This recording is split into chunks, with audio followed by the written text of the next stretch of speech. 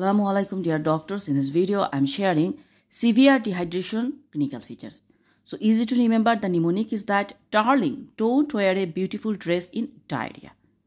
So this darling is drowsy appearance, don't, that is dry tongue, where W is weight loss 10% more than and beautiful, that is blood pressure is less than 80 millimeter of mercury and dress D for decrease the urine output that is oliguria, R for rapid radial pulse, E for estimated fluid deficit, S for skin elasticity and S for shrunken eyes and D for diarrhea.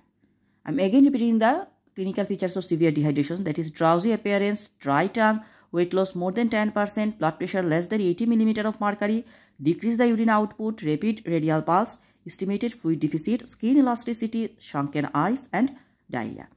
So this is all about the severe dehydration clinical features mnemonic. Remember, darling, don't wear a beautiful dress in diarrhea. Please do subscribe and share Dr. Emma's Medicine YouTube channel. Thank you.